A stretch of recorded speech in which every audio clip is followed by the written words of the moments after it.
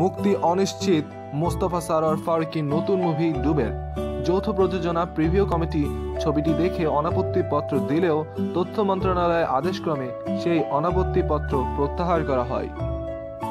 এ নিয়ে বিস্ময় প্রকাশ করে মোস্তফা সারোয়ার ফারুকি বলেন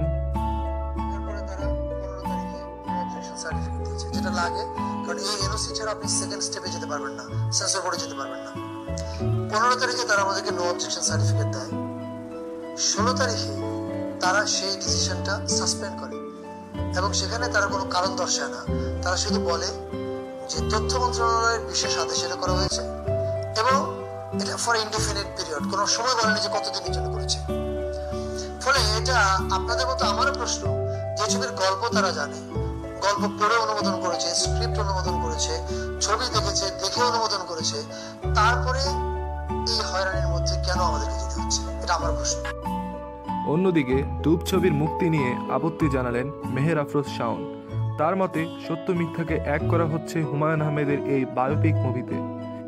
এই সম্পর্কে তিনি সংবাদ মিডিয়াকে বলেন বাংলাদেশের একজন জনপ্রিয় লেখক যিনি পাশাপাশি একজন চলচ্চিত্র নির্মাতা যিনি ক্যান্সারে মারা গেছেন। এই তিনটি মান- এই তিনটি বিষয়ে বাংলাদেশের একজন লেখকের ক্ষেত্রে লেখকটির নাম যে হুমায়ুন আহমেদ, সেটি চলচ্চিত্রে আবুল হোসেন দেয়া হোক আর জাবেদ হাসান দেয়া হোক, এটা যে হুমায়ুন আহমেদের কাহিনী, এটা বুঝতে দর্শকদেরকে কোনো গবেষণা করার করতে হয় না বলে আমি মনে করি। এখন নির্মাতা বলছেন ছবিটির চরিত্রের নাম জাবেদ হাসান, কিন্তু চরিত্রটি একজন লেখকের। যে লেখক একজন চলচ্চিত্র নির্মাতা যিনি ক্যান্সারে মারা গেছেন এবং যার ব্যক্তিগত জীবনে, পারিবারিক জীবনে দুটি অধ্যায় আছে। সবকটি তিনি মিলিয়েছেন হুমায়ুন আহমেদের সাথে।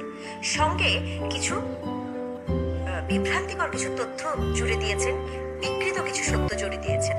এখন কেউ যদি হুমায়ুন আহমেদকে নিয়ে তার জীবনের সত্য কিছু ঘটনার সাথে এক বিন্দু মিথ্যা মিলিয়ে দেয়, সেই মিথ্যাটা কিন্তু একসময় সত্যতে প্রতিষ্ঠিত হবার একটা আশঙ্কা থাকে।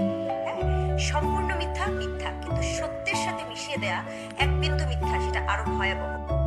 মোস্তফা সারোয়ার ফারুকি অন্য এক বার্তায় জানান ডুব হুমায়ুন আহমেদের কোনো বায়োপিক নয়। তাই হুমায়ুন আহমেদের ইস্যু তুলে মুভিটি বন্ধ করা সম্পূর্ণ ভিত্তিহীন। আমি এটা কারও বায়োপিক বানাইনি। এটা জাভেদ হাসান নামে একজন লোকের জীবন। তার গল্প বানিয়েছি। সেই চরিত্রগুলোর মধ্যে হুমায়ুন আহমেদ, শাওন এরকম কেউ নেই।